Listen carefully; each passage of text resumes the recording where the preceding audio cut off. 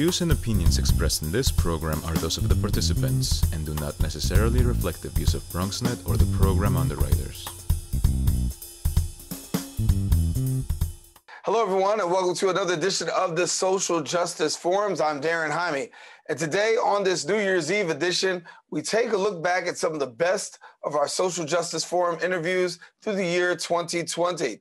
If anybody asks what the Social Justice Forums are about, well, we have an opportunity to have conversation and dialogue discussing many of the inequities that people face. We promote civic engagement and we go into a deeper discussion, hoping to promote awareness and then also looking at the issue of justice. So stay with us. The Social Justice Forums starts right now.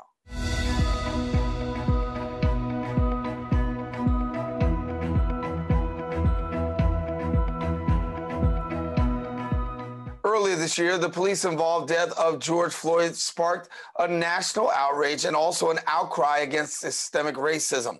Organizations and individuals around the world gathered together in protest against racial injustice with a message of more action is needed to help America's Black population. We spoke with experts as well as advocates on how racial and social injustices are built into our workforce, childcare, education systems, and also identify ways to dismantle racism and other forms of discrimination. We take a look at the best that was in the year 2020. I think that the new life is absolutely wonderful. And the reason why it's so wonderful is because it says that it's not only affecting uh, Black lives, but it's affecting America. When, I, when that officer uh, took an oath to the United States Constitution to uphold life, liberty, and equal protection under the law, um, he said something about what he would do. And when he broke that, and those officers broke that, uh, then they not only are they responsible for the murder of George Floyd, but America is responsible for the murder of George Floyd. And I think that why so many people are involved now because they see this as an America problem. Uh, America problem that has not done anything about it, America problem that has allowed it to go unchallenged, uh, not put the necessary reform and policies in place, and then the energy is there, new culture, new context, uh, creates new uh, influences and new voices. So the voices that are out there right now are saying that this is a long-standing problem. It's affecting us. Um, the, those who are not black are saying that this is affecting our friends. This is affecting our relationships. There are more relationships between the cultures and the races now. I think that um, more people are seeing how this can tear down America. The racial problem has been a problem for a long time, but I think this new context, new culture is showing how if we don't do something about this, uh, that, that this rising tide of voices will continue to go forward and continue to be just as aggressive as the um, as as the violence that's occurring against Black lives. So I think that this is a great thing that's going on, and we must continue and it's a new form of leadership. It's not just one person leading the charge. I mean, we had the Martin Luther King, we had the Frederick Douglasses, we had the Malcolm X, but I think this is a confluence of so many different voices coming together in different places. I mean, when you have places where there are no black people in Utah and Nevada and places like that, and little towns and cities that are rising up as a result of George Floyd, this is a whole new culture, a whole new time. And I think Al Sharpton said it best when he said that, you know, at one time, um, a, a, white woman came to him and says um, that she hated him. And then now a little girl came to him and she said, Black Lives Matter, little white girl.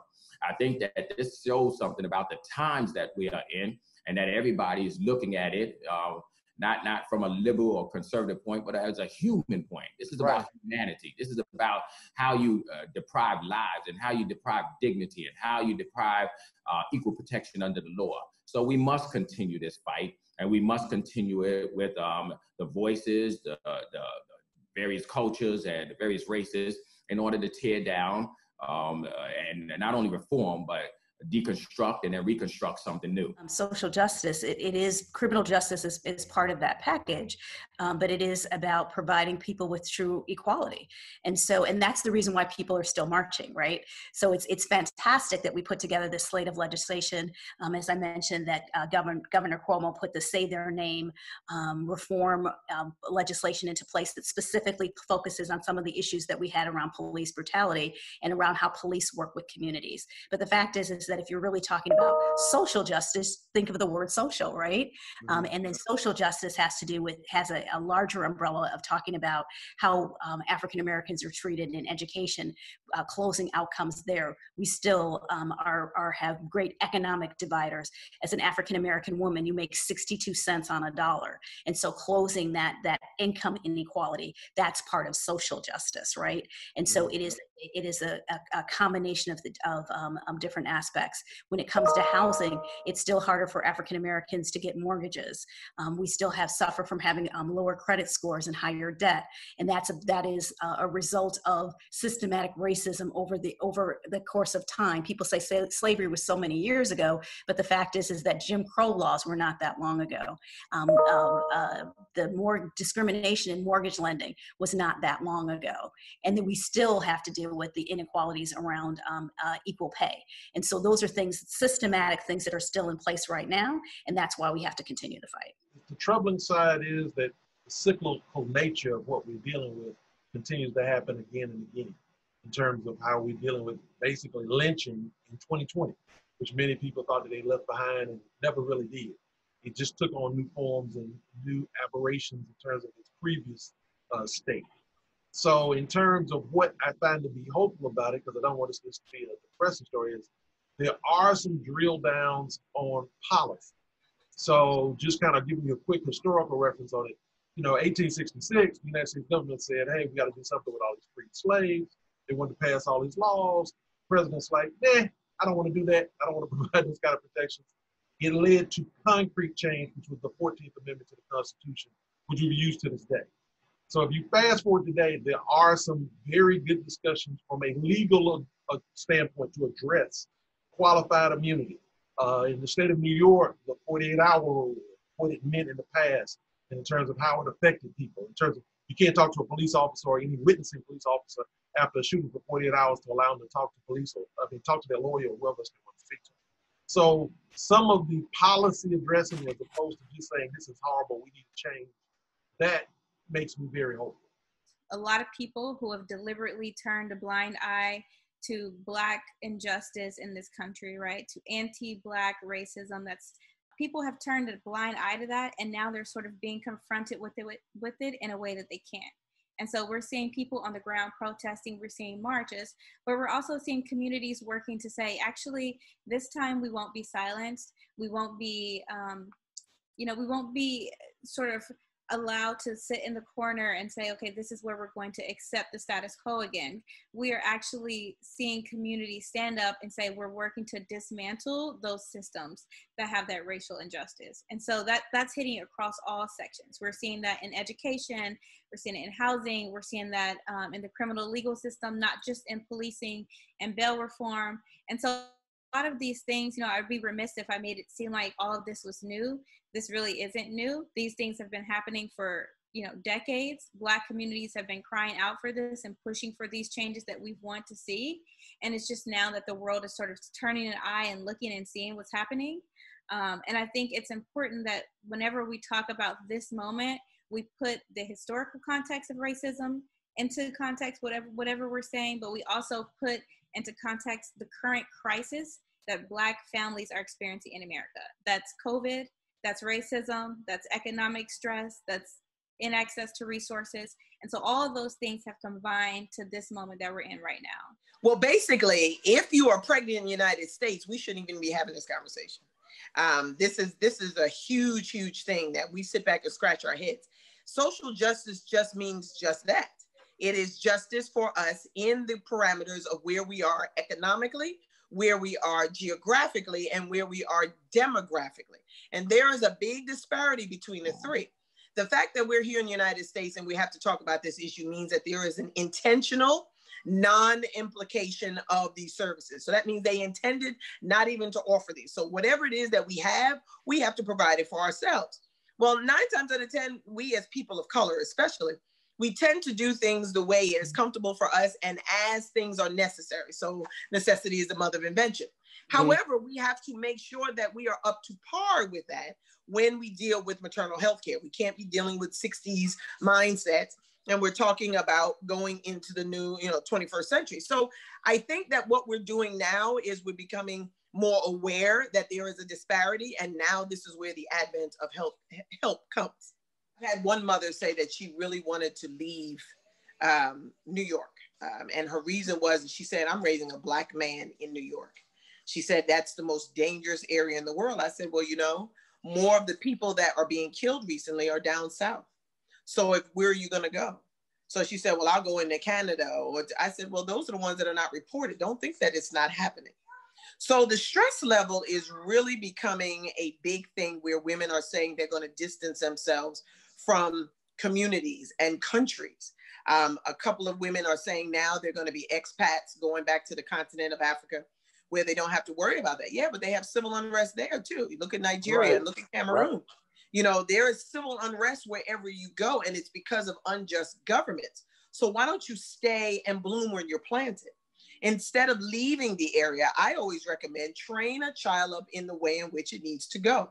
So if there's a civil unrest for Black men, then who would be better able to stop the civil unrest than Black men? So make sure that you are in a tolerant area that allows men to be empowered, that allows the decisions to be made in their lives to be done by them, and then allow their environment to be safe. Stop tolerating injustices that are uh, normalized, like the the no snitching rule or you know you don't tell what's happening in the community or mind your business and you don't get involved in it. No get involved. Get involved and stay involved and allow the men to have that voice to say man you're not going to touch this woman this way or you're not going to handle this this way and allow the men to step up and do we used i grew up with that.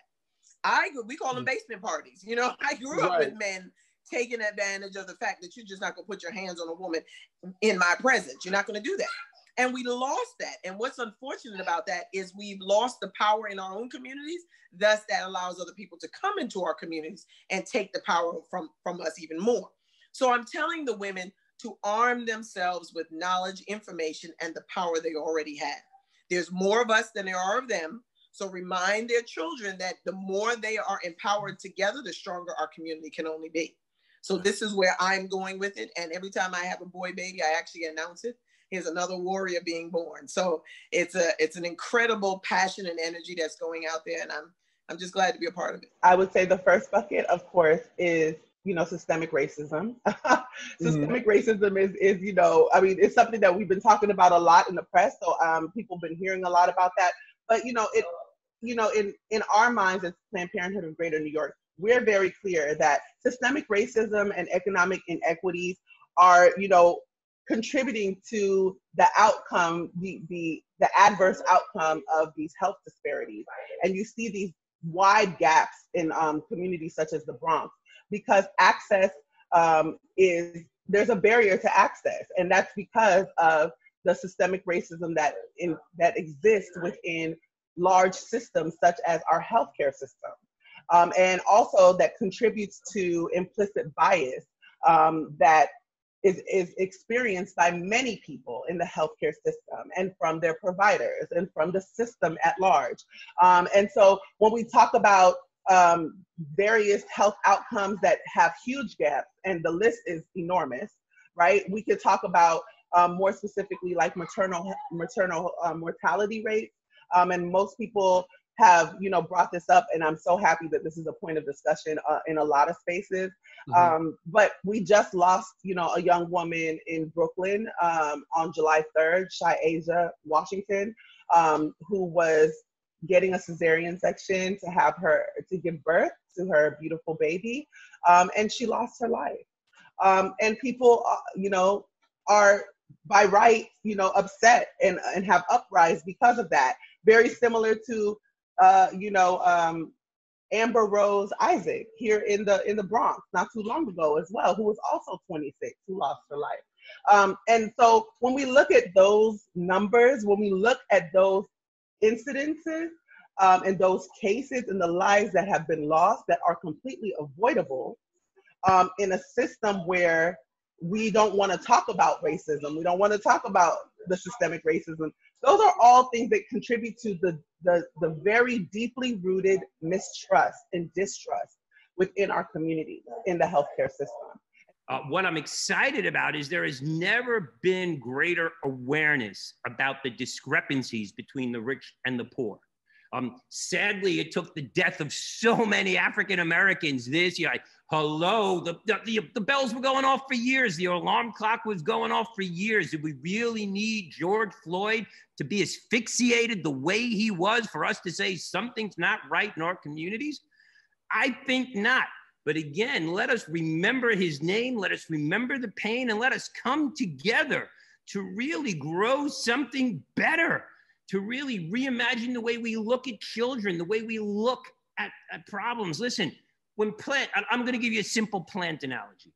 When I grow plants, if the plants don't work, I don't blame, don't grow. I don't blame the seed. We look at the environment. Did I give them enough water? Was the soil healthy? Did they have access to light? we need to start looking at marginalized communities the same way. We can't keep blaming people for being poor. I will tell you that here in the South Bronx, being poor is a tough job. It has never been harder than ever. And the pandemic has really called attention to that around access to the internet, around access to devices, around access to healthy, fresh food. Now, my goal, and thanks to you, your job is to make sure that we cultivate an appetite for equity. It's no longer enough to say, oh, I'm not a racist. And I believe I meet a lot of people each and every day who say they are, who say they aren't racist and probably believe they're not. But what are we doing in terms of policy that demonstrates that we are actively anti racist in all that we do? You know, I jokingly say, I'm getting tired of philanthropy, and there's been some amazing philanthropy this year. So, for those who are donating and contributing and the movements that we see across the borough and across the city and the nation, God bless you. I feel you, I see you, and I appreciate you. But here's the deal philanthropy will send a whole bunch of bottles of water to Michigan, and we'll judge the efficacy of that philanthropy on how many bottles of water we send. But what we really need is good policy. And good policy will make right. sure that those residents have water for life, and people who violate that will be dealt with accordingly, as in prison, because that's what we need to do. We need to stop selling the rights of our children and the future of marginalized communities down the drain for, you know, quarterly profits. We need to really get to compassion. We need to let empathy be our North Star. And I'm really excited that, you know, the election is over. And uh, one virus is coming to an end, as is another, and hopefully we can look to better, brighter days for all of us and the planet. That's what this is about. Well, a lot was said on that matter. We're taking a quick break, coming back with more when we talk about another issue, and that issue communities and mass incarceration. That's when we return here on the Social Justice Forums. We know that people are dealing with the health crisis, but there's also a lot of food insecurity. We're giving out healthy food options, and that's what's key here. If you're a senior, you have a disability, they'll actually deliver meals to you. The residents are anxious, they're worried, they're scared, they want to be tested. When things were happening in our community, and, and, we couldn't get the help. There's almost a presumption of criminality that, that attaches to your skin color. The site will prioritize those who are at highest risk in the population. If you feel symptoms and you'd like to visit one of these COVID 19 testing sites here in the Bronx, you may call the State Health Department's hotline. Important to note about this site is no reservations are needed. This is a walk in clinic. A lot of us are out of work and looking for something to do. We have the machinery and the skills to make large scales of these masks and gowns. Take care of your people it's going to go way further than we actually can understand. Right now, employees like myself are just adjusting to the new reality. Reporting from this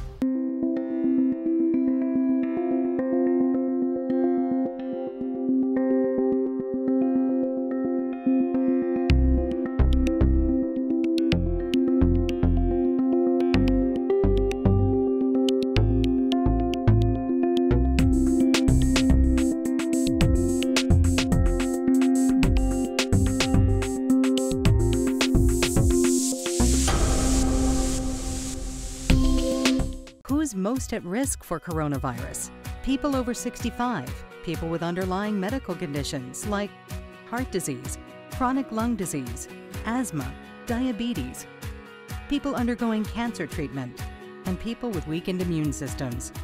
What should you do if you or a loved one is at higher risk?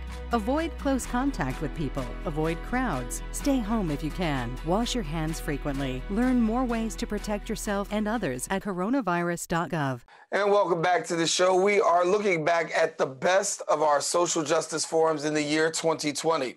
Communities gathered together to voice their concerns about mass incarceration as well as police violence.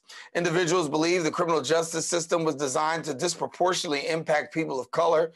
Advocates are currently fighting for criminal justice reform in an effort to decrease police brutality, as well as improve accountability and decrease the United States prison population. This while addressing racial injustice. We take a look back now at some of the best interviews we had in this particular field in the year 2020. We know that police have a responsibility but we can't rely on their irresponsibility. So we have to be responsible and we have to empower ourselves. And far too many times when we have their interaction, we're expecting them to do something for us. How ironic is that? You're expecting the police to actually do something for you. It seems that that is the American way. You call the police, they come to help. But in our community, the police are called or the police stop you and oftentimes it doesn't lead to help. But in that moment, in that interaction, you're looking for help. So we need to understand that there is no law that says that they have to tell you why they stopped you. It's not written in the patrol guide, it's not codified in any New York statutes. So when you ask the question, officer, why did you stop me? You should know automatically that he or she does not have to give you a reason. And if you're playing chess and not playing checkers, you should anticipate that even if they had an obligation, non legal obligation, that they're not going to give you that information.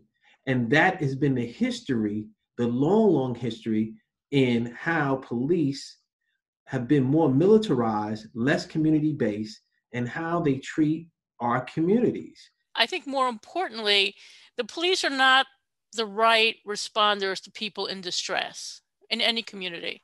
When you're in distress and there's no mental health resources, you call the police. And in most communities, there is no urgent mental health community. So you call the police. In communities of color, there's even less healthcare opportunities for people. So they're waiting till someone gets sick and then they're calling the police. And the police were never meant to handle mental health crisis. I always say it's like sending a plumber to do heart surgery. That's it's a healthcare need. It's not a command and control law enforcement need. A lot of people are thinking like, well, maybe we'll just add a mental health res- responder to the police and have what they call co-response, a police and a mental health team worker. That is not the right solution. And I'll tell you why. The people who started, the officers who started CIT training internationally, CIT International, just the mere presence of a police officer is still going to get people scared. It's still the best outcome is to have someone taken in handcuffs to a hospital, which is not the right approach. Your neighbors are still going to know that police came and there's going to be discussion. Well, we are put a proposal together years ago for CCIT NYC and is getting a lot of traction. Mm-hmm. Is to have uh, a person with lived experience who's trained in de escalation and an EMT. It's much like the model in Eugene, Oregon, where they've been working for 33 years, where they have a trained de escalator and an EMT go out to calls. They haven't had one serious incident of violence to their workers. They only need the police 0.6% of the time. And there are other models that are working now uh, San Francisco, Toronto, Los Angeles, Portland. They're all going to a model of one peer, one clinician. Peer is someone with lived experience, one clinician and one EMT. The EMT is there for if you have wounds that they need to take care of. The whole goal is not to trans people to a psychiatric hospital, which in itself can be very traumatizing, um, but to either treat people at the home or take them to uh, a center where you can get some care, but it's not, you know, a hospitalization. And so I've drafted a bill um, that I'm referring to as the fourth response which is a non police response to mental health and substance abuse calls. Right? So currently, um, when you call 911, there's three responses, right? There is a, you know, a fire emergency response, there's a medical emergency response, and a police criminal justice response. Unfortunately, the police criminal justice response is the default response. And so, you know, if you have a person who's having a mental health crisis, you call 911, the police show up, um, they're not properly trained. And so when all you have is a hammer, everything looks like a nail. And then the police hammer everything. And so you wind up with people who are, you know, busted, broken, you know, arrested, and oftentimes killed. Um, and so we're hoping that this legislation will be able to get passed um, to provide another way for us to deal with those kind of responses. And I think that those uh, are, are, kind of the way that we're we've been moving. Like there, there's a Black Lives Matter revolution happening, um, and the moment became is like how do we center and empower a community that have been the most harmed? You know, this country and the city has and people who have been uh, people of color and communities of color has seen the the communities not being under uh, being underfunded, over incarcerated, over police. And Rikers Island was uh, the tale of, of, uh, of two uh, of two cities. You know what I'm saying? The abilities of, of knowing that Rikers or, or, or the, the, jail system has not operated the way that it's supposed to operate, right? Like it was supposed to make sure people are being returned back to society and have all the proper tools that they actually need. But our recidivism rate is 70%. And Rikers Island is known for years, years for people going in and never coming out. And it's known for Gladiator School, Torture Island, and when people go on that bridge, they know what exactly they're supposed to supposed to expect as a human being and how you're supposed to react. You know, we know that Rikers Island for per person is approximately 330, 40K.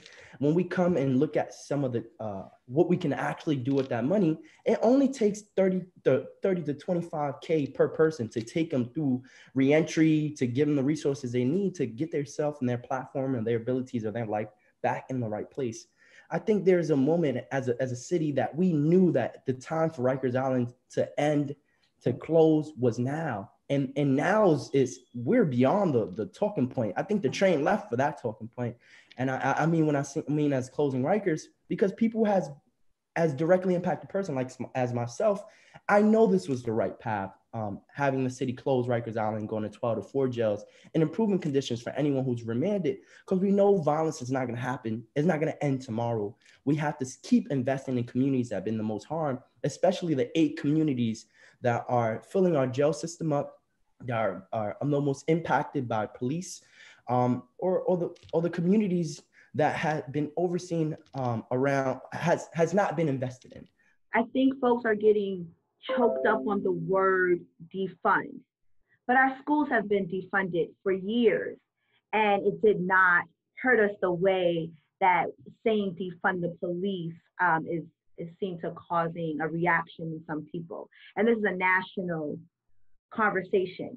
I'm not sure if folks understand that when we say defund the police, I think people are thinking of, oh, we're the beat cops on my on my street, or who's gonna uh, response, when I have real emergencies, yes, we're talking about the militarized way that we use the uh, police department, specifically, I'll speak to the NYPD here. The militarized way that we use them, the amount of money that we spend um, militarizing the police, and we need to defund those things. The other thing about defunding the police is if you have more money for uh, programs that impact our setting conditions, healthcare, education, housing, those are all connected to uh, crime and policing. There's a, there's, a, there's a connection between poverty and crime. And so if we're not willing to fix the infrastructures of healthcare, education, uh, the cost of living, and all of those things, then we're really going to be at a disadvantage. And we're trying to shift the money away into those areas of uh, education, healthcare, housing, as I said, et cetera, because we are seeing mass unemployment due to the pandemic, but even before, we're seeing mass evictions that are, people are afraid of evictions that are about to happen. We've seen our cost of living go up, but yet we find the money to continue to fund militarized police, but we can't seem to keep the 22,000 jobs that Mayor de Blasio is talking about cutting because he needs to fix the budget. And that to us does not make sense. There are literally thousands of laws across our country that legally discriminate discriminates against people who have a criminal conviction, especially a felony conviction. Like, like for instance, we're in the, in voting season right now. There are states in our country that actually um, that disallows you or or or or criminalizes you for for voting. So you lose your right to vote for the rest of your life because you have a felony conviction. And we have over 20 million people in our country that have a felony conviction. Over 70 million people in our country who have a conviction, you know, whether it's a misdemeanor or felony altogether. So the new Jim Crow are like laws that actually target people to disempower people, you know, like voting, like um, getting a driver's license, um, like getting certain um, um, like becoming a firefighter. Like in California, you had at one time, I think the law was passed this year, but at once for years, um, incarcerated people were being trained to put out fire and, and risking their lives for like a dollar an hour. But when they come home, they couldn't become a firefighter, fire, you know, fireman because they had a felony conviction. And this is um, part, a part of the thousand of laws that you know that we basically call as part of the new Jim Crow. You know, it marginalizes people, you know, who have who are formerly incarcerated from different sectors of, of, of the job market or, or licenses market. And um, yeah, so that's like just a, an extension of the old Jim Crow. Uh, I've definitely been having that sort of in a conversation with myself about uh, policing in schools and the militarization of students. And for starters, I don't think we need police in schools for students to be safe. Um, so I live in the Bronx, but I went to school in Lower Manhattan, and my experiences in comparison to the students in my zone school were completely different. I went to a school that didn't have metal detectors, and I went to a school that had school resource officers, but they were very kind, and everyone was friendly with them in comparison to other schools where they have metal detectors uh, and they have school resource officers who may um, actually make the school environment hostile uh, instead of making it a better and safe environment, which is what we think. I think a lot of people from a young age, even adults, associate safety with more policing um, and just like the militarization of students and community members. When in reality, safety doesn't have to be like that. I think with the defunding the NYPD, the other p- part of it that people are forgetting is that we're directly asking you to defund them because historically, New York State and this country has been cutting, um, making detrimental cuts to every other system to continue to fund the NYPD and the, the, the police department.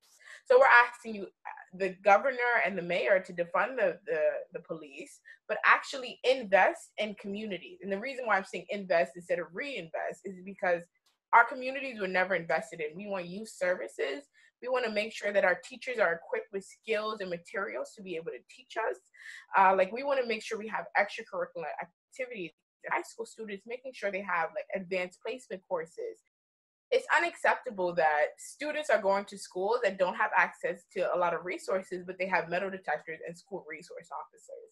And even within the conversation of safety is looking at mental safety and like psychological safety and and employing more counselors and social social workers and psychologists and even nurses. There's so many students that go to school that don't even have nurses, but they have school resource officers. So it's really about priorities and what our country and specifically New York City is prioritizing with uh, the well-being of not only our, our constituents but also our students. Okay. Two big things, right? One is accountability, which is a, a decade-long conversation we've been having in in communities in the African American community, in the Latino community, and anybody who knows anything about New York City. Right? We could have been talking about the same issues back in the 1960s, at the height of both the Young Lords and the Black Panthers, at the height of unrest to demand equality at the height of the, the opposition to the Vietnam War, at the height of the labor movement and the boycott of grapes out in the West Coast with Cesar Chavez and the United Farm Workers. In that period of our history, these same episodes of outrageous police brutality were happening every day. And we could have easily had the same kind of reforms that we're talking about today. So accountability is a long process that now because of what's happening in this country only in the last three weeks. Um, the culmination of so much outrageous violence, state sponsored violence against Black folk, is exactly now pos- positioning us to have to perhaps drastic changes in how we think about policing. So that's the accountability piece. And there's more to talk about that and more to figure out what that means.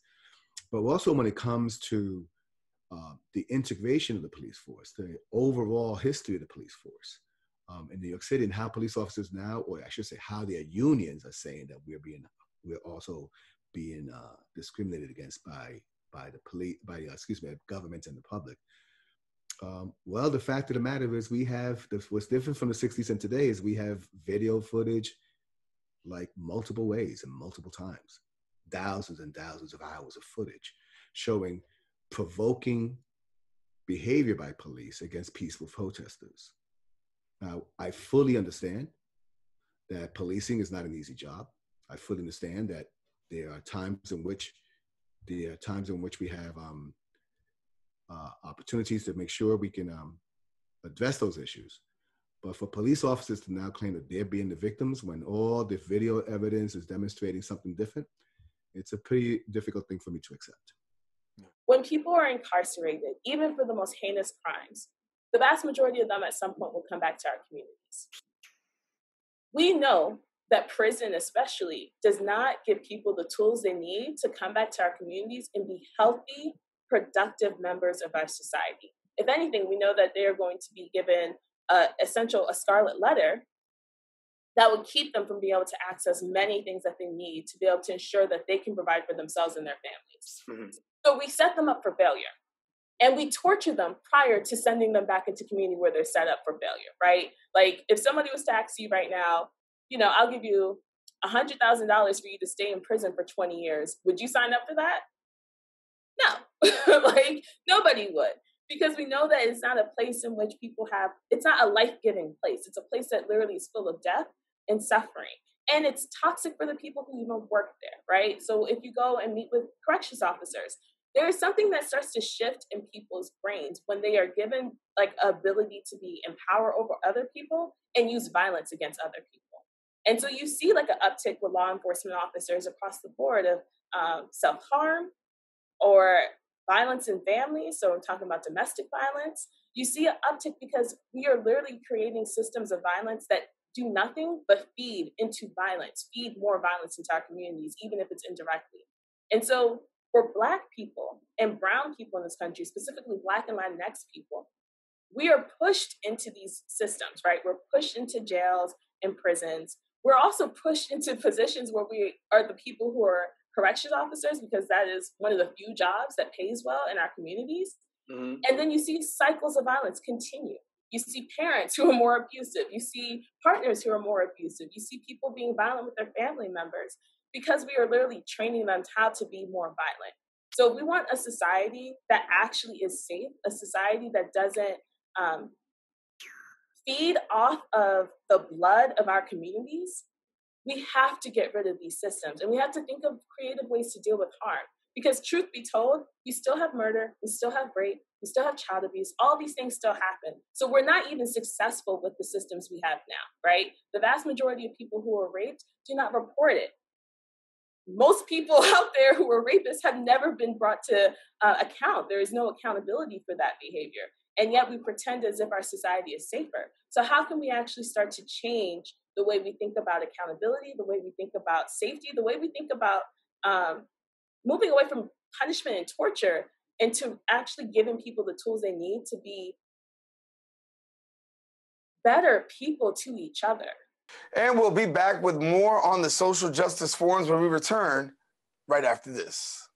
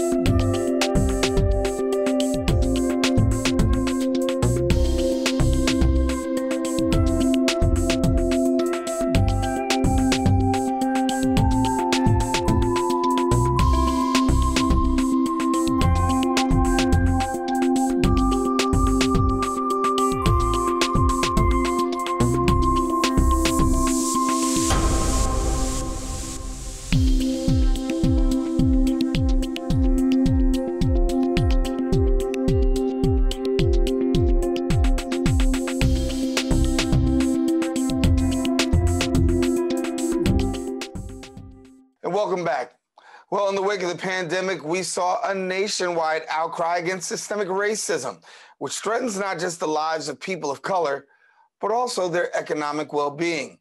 Economic injustice creates significant barriers, impeding the ability of many people to be able to care for their families. Individuals are living off minimum wage while dealing with the issue of having affordable housing, healthcare, and education. We've had some experts on our show to discuss these and how they're fighting for these topics as well. We take a look at those now at the best of 2020. Gentrification is it's a uh, has not only negative connotations right now, but the word gentry is in gentrification. I don't like feeling as if other people are better than me. I don't like it. I don't like to think about it. I don't like to give it any credit. And I think that the, the overuse of the word gentrification as a negative uh, could be problematic. It could be problematic for neighbors, could be uh, problematic for all sorts of reasons. So I've always debated this issue on BronxNet because I've thought that um, the word is a problem. Uh, the reality could be a, a, a, major issue for a lot of Bronxites. But at the end of the day, I think we should have the conversation whether or not economic development and what it brings is good for the borough. I say yes. And I know that many Bronxites also believe the answer is yes. So instead of looking at it as a negative, we should flip it and make it into a positive. Let's call it economic development. Let's call it re- reimagining our community. That's what's happening, Daren. And mm-hmm. unfortunately, it's such a negative connotation to that word that I was in a debate a couple of years ago on BronxNet. Wow, did I get crucified on the on on the comments and and I and I, and I apologize for using that term, uh, Pastor, but the, the, the, the truth of the matter is that you know this is such a delicate topic, and the word brings so much um, so much energy and, and, and spirit that I think that um, we should reevaluate giving this kind of credit as if as if having new people in a community means that we are getting cultured as if we weren't refined as is.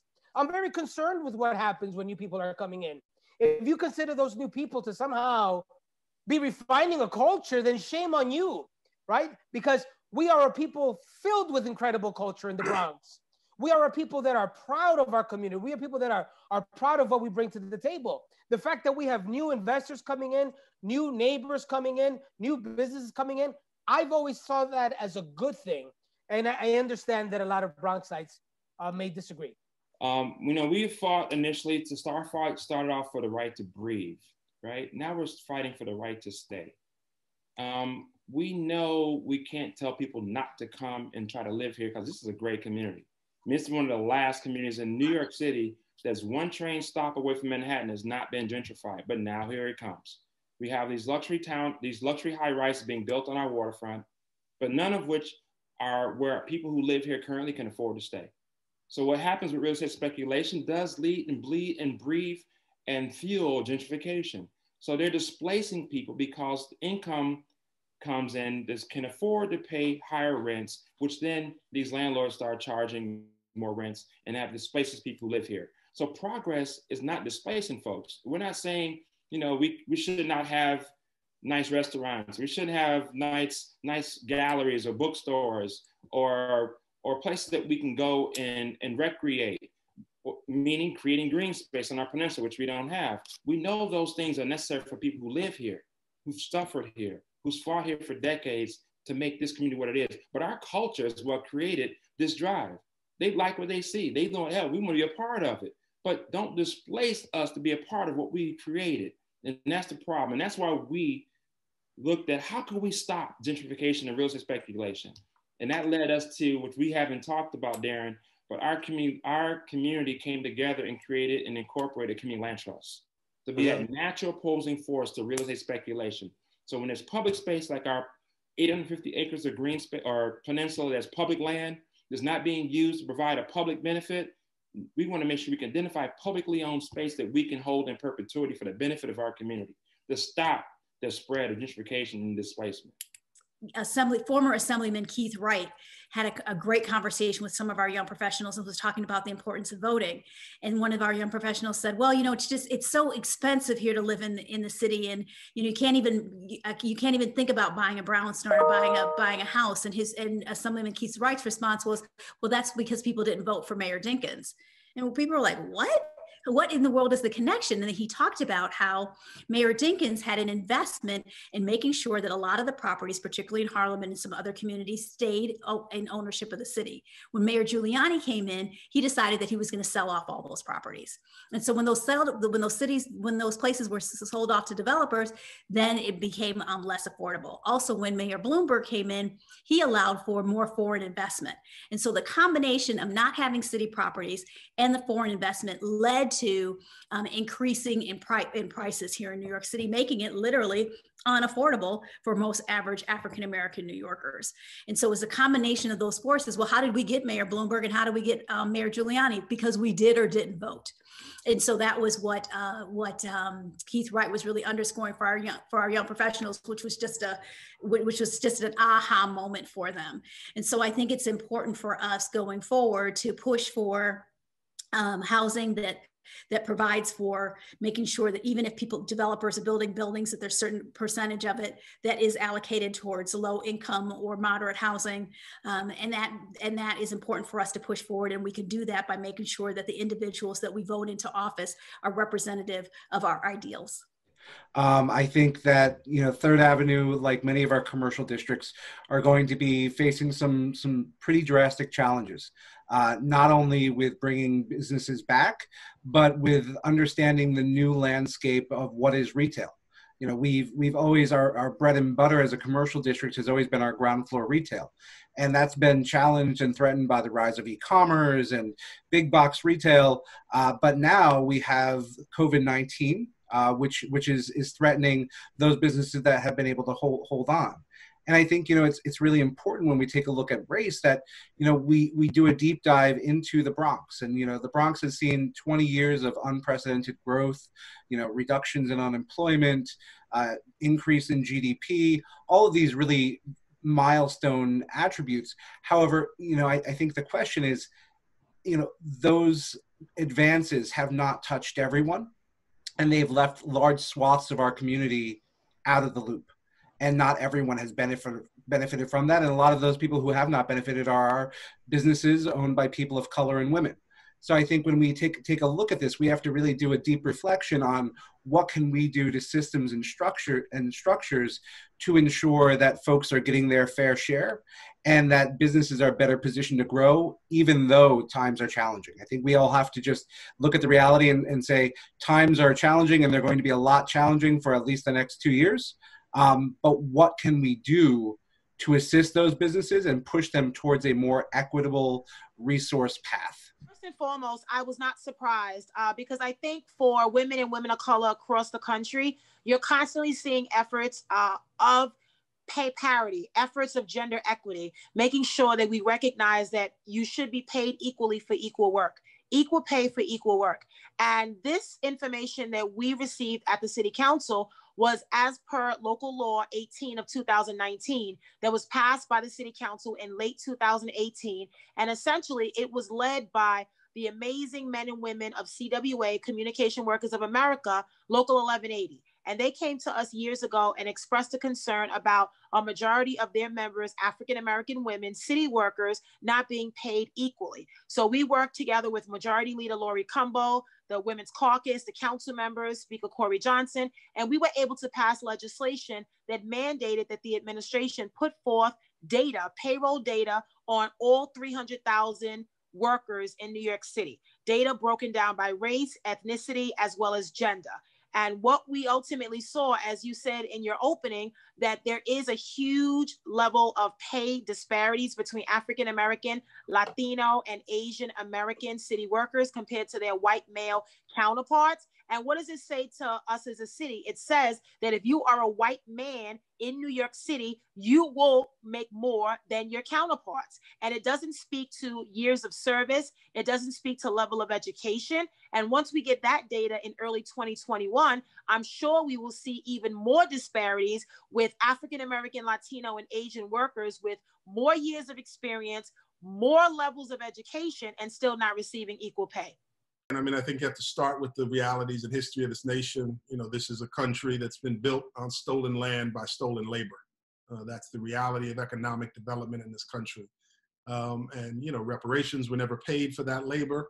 Um, and post slavery, there also was the intentional state sponsored destruction of Black wealth um, that we saw all across the country from Rosewood to Tulsa, but also in terms of redlining in terms of keeping government benefits from Black people having access to that, whether it was welfare or Social Security or the GI Bill or building a home. And so, you know, I think when we, we operate within a system like that, there is no way to separate racial inequality and economic inequality because they go hand in hand and have since the founding of the country. And you know, you look at the last three months or so, you have 40 million people unemployed in this country. Uh, you have low income people catching hell economically uh, disproportionately black and brown, but low income people of all backgrounds. And, you know, over nearly 600 billionaires have made untold billions of dollars during this time. It's only deepened the economic difference in this country.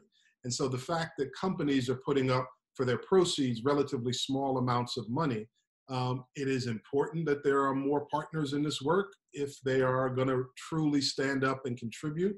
But I don't think we should also be um, distracted by you know a mere change of the of the drapes and think that we're really moving the room around. I don't think that there are really the resources on the table from a government perspective and certainly from a private wealth perspective that should be appropriate to respond to this kind of inequity. It seems like at this point, really window dressing. The stereotype of the homeless person is the person you might see like in a subway station or panhandling on the street.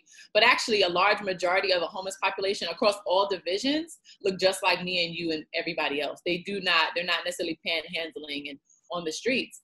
Um, the thing that we're missing with the millennial generation is that we're assuming that because this generation had opportunities to go to college um, and should have completed college, that they should be better off.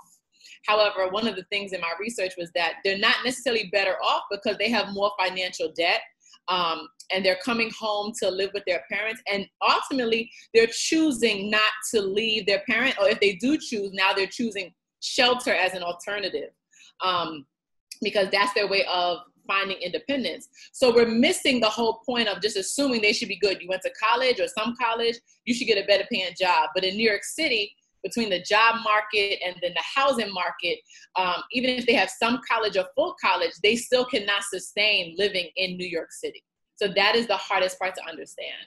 Um, and you know, on some spectrum of the characteristics, they tend not to ask for help as freely um, however, once they get help, they will continue the process at that point. So it's, it's again a wide spectrum of things. The problem here is a student loan debt crisis, and the problem itself is distributed disproportionately amongst students of color. So we know Black women, they have more student loan debt per student than any other group. We also know because of the persistent uh, wealth and wage gap that we see students of color and particularly Black students pursue uh, graduate degrees at a higher rate. A lot of people don't know that, that our students of color are some of the most ambitious and successful students that exist. But when you go further down your education track, that means a lot more student loan debt. Um, and what is also a persistent problem is these are these predatory for-profit colleges. These are the schools that have uh, given people tens of thousands of dollars in student loan debt and then offer them a degree that is virtually useless when it comes to uh, accessing a high paying job. Uh, so all three of those issues combined are partly why we see a disproportionate student debt crisis. Now, on the other end of this is the opportunity for debt cancellation to be a powerful equalizer. And so what we see uh, is that not only will student debt cancellation lift the debt burden off of students of color's back, meaning they can take on other healthy debts like a mortgage, uh, pay off credit card debts, just be more financially secure. Uh, but we also know that students of color have uh, smaller debt totals. So when we're talking to advocates and we're trying to figure out how much student debt should be canceled for per borrower, we don't need that much. Anywhere from $5,000, $10,000 to $20,000 would wipe clean the student debt burden for most um, of the students of color who are in distress and unable to afford their student loan debt. I, as a Black woman, I feel helpless. I feel like I can't do anything. Um, and that was the basis of this movement. It's an economic protest, it is an economic boycott. We are going to go where we are appreciated, where we are valued. Um, you know, people can post on social media all day long, right? But if you're not really putting your money where your mouth is, it is a moot point. The only time you really see change in America is through blood and money. And um, and I think that since we're the ones who are dying, we see the blood part. And um, due to uh, like all the things that's been happening, you know, Darissa led this movement because we just started talking about our research in the boy, uh, Montgomery boycott, and it was like up to like 65% of their income was depleted because of the boycott. And I think that right now, this is a chance for everyone, or Black people, to use their voices and uh, get their worth. And um, it's pretty interesting how, like, in all industries, uh, this is really a topic on social media. The fact that that n- women are not getting paid enough, um, uh, models are not getting paid enough. You know, news reporters are not getting paid enough. Like, in, I think this is the moment since uh, really big corporate white corporations are afraid of lo- they're afraid of losing our money. They understand that uh, we have value, and when we use our value, change really happens. And it's interesting to see how um, even San Francisco literally just started the reform, police reform, with u- utilizing citizens to uh, respond to non-criminal calls. So it's just interesting to see how like we know that money is real, money makes happen, and and it's interesting to see how um, that's when things really do change. And um, it's a, they're having a decline. They're having a decline with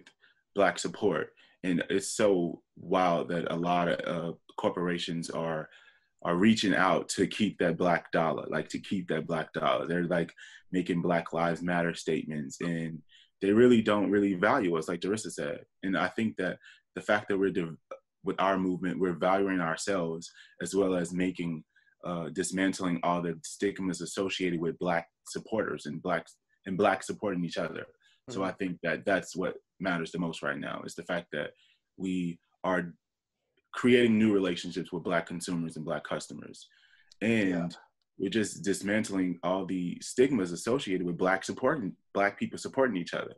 And change is really happening right now. Like there's a there's an upwar far as like finances with company with black companies they're, they're really making a lot of money right now and i just we just hope with our movement that it's just consistent and it's uh, a, a lifestyle change well, we hope that you enjoyed that segment. Want to let you know that we've come to the end of our social justice forums, as well as our talks about anti violence. And yes, we hope that you enjoyed it. Now, you can catch this episode here on BronxNet Channel 67 and Optimum's Channel 2133. You could also rewatch it on BronxNet.org. And guess what? If you want to join in our conversation and present your point of view, head over right now to BronxNet TV on our social media pages, and you'll be able to join in on the discussion. Look, as we wrap up 2020, I encourage you all stay safe, stay encouraged, keep this channel wide open. Make sure that you're watching us here on the Social Justice Forums. For all of us here on the Social Justice Forums, I'm Daren Jaime saying take care, God bless, and Happy New Year.